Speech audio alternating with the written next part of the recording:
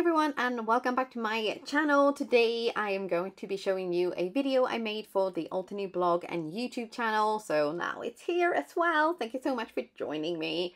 I am going to be using this um, Doodled Dots cover die, which sadly is discontinued. It's one of my favorites and I've had this one for years and years and years. So I I do have a thing about kind of using my older products because I I just I don't want to be like pushing new stuff all the time. I I do want to kind of make sure that I bring back my favorites. And this one, ooh, it's right up there. I love it so much. So I am going to be showing you a couple of things that I've done um, for this card. So I have already cut out one and I poked out all of the little bits here and you can see it's just super fun and like, yeah, it's just, it's just good. And then on this one, what I did was I did a little trick where I kept all of the pieces inside and then I put some double-sided tape on the back to make sure everything stays where it's supposed to go. But I thought I'd just show you how to do that if in case you wanted to do that yourself. So we're going to take our cover plate and then obviously we're going to take our die cutting machine as well and we're going to take some cardstock and we're going to be uh, we're not going to be doing anything crazy. We're actually just going to roll this through as normal. yes, I know there's a little bit of a build up there, but don't don't worry. We are just going to do this as normal. We are going to um roll it through in, in a normal sandwich. My plates are really warped, so I need to do the whole like flattening trick thing on them. But it doesn't actually matter too much for this bit. Now, this is the part where you're going to want to like care a little bit. So we're going to flip it over so that hopefully all of the little bits and pieces are staying in place. And then on top of this, we are going to put some double, double, double-sided tape. So this one is about five centimeters wide, about two inches. And um, we're to pop that down and cover as much of the pattern as we can. And then we're to rub a dub a dub so that all of the pieces in the pattern are sticking. And then to make sure that everything stays where it's supposed to go, we are going to, don't try to like take them apart. We're going to very gently poke through the pattern with some, either a pokey tool or tweezers like I'm using here. And now we're going to zoom in a little bit because I came up with a better way of doing this. So we're going to poke through a little bit. We're going to lift the cover plate just a tiny bit, kind of bend it a little bit. And then we're going to poke through where you can see the white of the cardstock still being inside the pattern. And then we're going to bend up a little bit more and then we're going to see, okay, so there's one, there's one, there's one. And we're going to keep on going until we have released all of the pieces into where they're supposed to go. So this, I know it's, it kind of looks like it is taking a long, long time, but this is probably, ah, okay, so I'm not going to say definitely, but I feel like this is the faster way of getting all of the bits and pieces, like the negative pieces, to actually stay where they're supposed to be, rather than taking the the cover plate and the paper apart and then kind of hoping for the best, you know, and then you have to puzzle, puzzle, puzzle. So especially with some of these circles, they are not perfectly round. So you would have to kind of make sure that you really found the right one for the right spot as well. So this I just find makes life a lot easier. Now, this one here, um, we are going to be using, uh, yes, we are, we're going to zoom out a little bit more so we have some space. Now, I'm going to show you a little thing that I do to kind of add extra texture and layer and depth, I guess you can say. So this piece here, you can put this down onto a, a normal card base and it would look beautiful and splendid and great if you like me are like slightly obsessed with texture and you know want to make everything like an, a little bit extra then if you do this thing that we've just done with the back panel then and then you add this on top you actually get a little bit more of a depth to the pattern because of the imprint in the background and then this on top. It just it's a tiny tiny thing and if you're in a hurry i would say just skip this and just maybe like layer up two pieces on top of each other rather than trying to, you know, put all of the bits and pieces inside and then, you know, the double-sided tape and yada, yada, yada. Anyway, food for thought if you like to do this sort of thing. Now, if we're going to add a little bit of color to this because, you know, we can't have just too white, can we? No. So we are going to start with Puffy Heart and, and also a little um, mini ink blending tool. So here I probably, I mean, okay, so fair kind of admission, confession, I suppose. I used the blending tool because I wanted to be able to kind of create a bit of an ombre. So I wanted to have a little bit more of uh, control, control over where the ink was going. If, again, if you're in a bit of a hurry, you could actually just take the ink pad and just like swipe it across. Yeah, and I, I actually think that that would look really, really cool because you're not gonna, unless you really, really kind of like mush it in there, you're gonna get some really fun like stripy kind of pattern. So that could actually add a bit of fun texture to your card as well. So maybe that's something to add to the to-do list. Okay, memo to self, remember that. And then next color is Purple Vine or oh, wine. I can't say, oh, I can't say that word.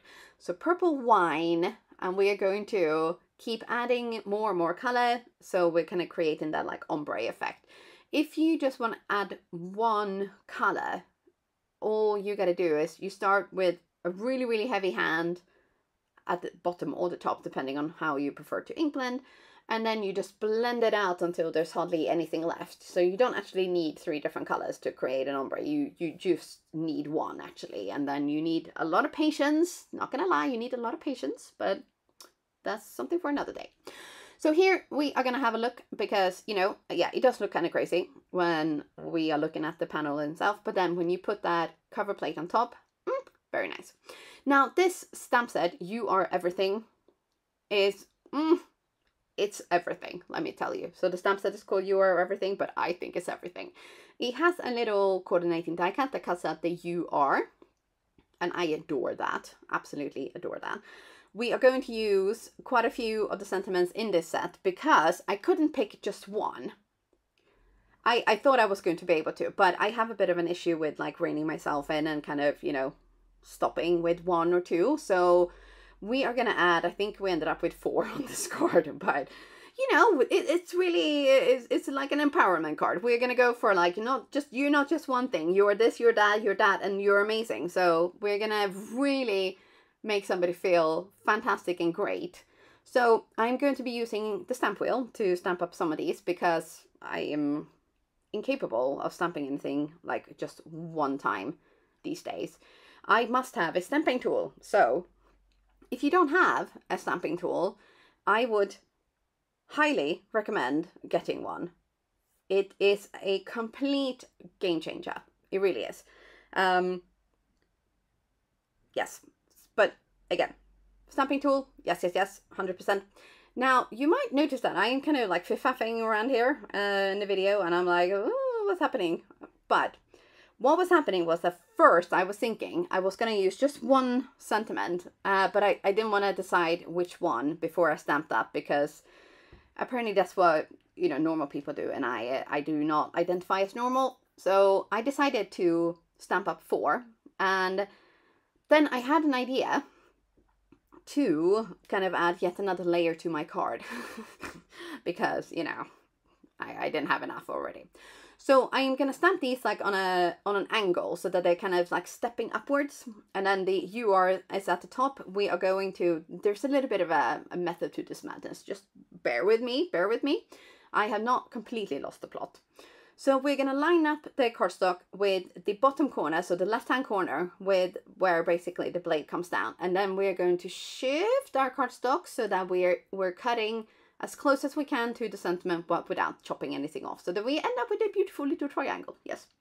And then the UR, we are going to cut that out with the coordinating die. And we are also going to cut out another few little pieces, yes.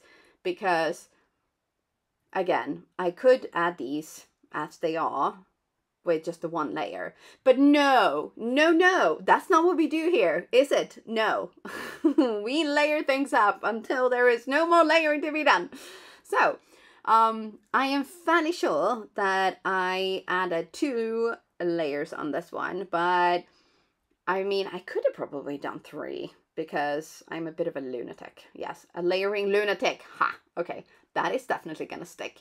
So we are going to use a little bit of liquid glue. We're going to add adhere these together, layer them up, and we're going to create a yes, we're gonna we're gonna finish off our card basically. So again, if you have been here before and you have seen me layer things up, you will know what I'm gonna say. Always use liquid adhesive when you're layering up things. Yes. And then when all your pieces are ready, we are going to turn them or we're going to puzzle them all together as a card. Yes, we are. So again, we're going to add a little bit of liquid adhesive here because we are going to want to be able to align this up perfectly. At least that is what I thought as I was adding the glue to this. But plot twist, just as I added this to my card base or my background there, uh, an idea struck and it refused to leave. So I went with it. Yes. So at first I was thinking, yes, this is going to go perfectly over the, the pattern. Um, so I was like, okay, yeah, this is definitely the way. And then here, as I was placing it down, I think it kind of, it, it, it slipped a little bit. And I was like, oh, but that's interesting. I kind of like it the pattern in the background was kind of showing through and creating like an extra little bit of texture and interest there. So I was like, you know what, we're going to go for it. We are, yeah. So I, I was, you know, I was not expecting to go this route, but I am kind of glad I did. So we are going to have to like chop up a, a little, chop up?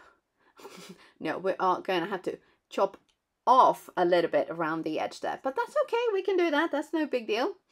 Uh, what we are going to do, we are going to add a little bit of the instant foam uh, or instant dimension foam tape to the backing tape that I used on the double-sided tape. Always keep these people pieces. No, that, that was not right. Always keep the backing pieces, people, because this will come in very handy when you need to trim down things like uh, foam tape that doesn't have backing tape. So it will save your scissors from getting super sticky and nobody likes sticky scissors. So let's just avoid doing that. So with this, we are going to trim the pieces down a little bit and we're going to try to, we're going to cut at an angle at the top so that we are getting that triangle shape. Everything is going to be very nice and solid. It's not going to dip anywhere. If you don't want to add this much foam tape, I don't blame you you do you. I just tend to, I, I tend to go to town. It's like one of those things I do. Yeah. But again, if you're not new here, then you know this. that should not come as a surprise. No. But anyway, uh, we're going to add lots of foam tape here. We're going to make sure that our entire triangle is covered. And then we're going to place this onto our card.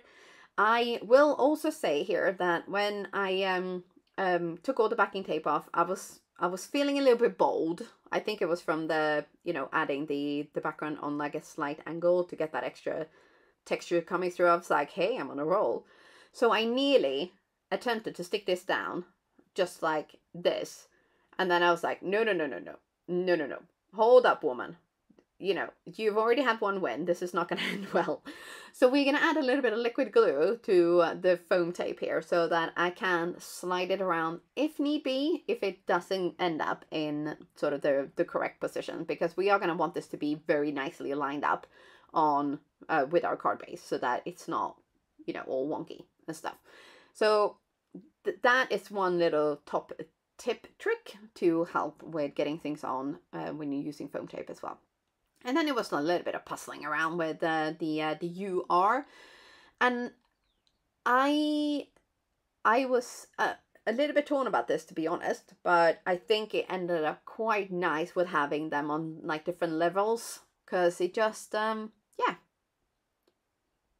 I, I can't really explain why I like it. I just I do I do I, I really like it, and then I really wanted to add some embellishment, so I decided to use some of these super cute sugar plum heart enamel dots. So they had to be hearts because it's such a like cutesy card and like, you know, you're enough just as you are, love you more than you know and all of this. So, you know, it, it had to be hearts. And um I again, I have a little bit of an embellishment problem. But I think these are so cute, and you know the cards have such sweet sentiments that I was like, you know what, it, we need we need some some more of these. And then I did actually off camera, I did add one more, like right by that, uh, love you more than you know. Um, and I don't think that I kind of realized that that would be a nice little touch until I had done the trimming and all of this. And then I kind of put the card down and I was like, you know what? Yeah, that one needs a little heart as well. But you will see that in the photos that are coming up. Um, and we're going to look at that right now. So you can see right there at the bottom, loved, you are more loved more than you know. But that is it from me for today. I really, really hope you've enjoyed this video. Thank you so much for spending some time with me. Don't forget to subscribe if you haven't already done so. And I will see you very soon again. Bye for now.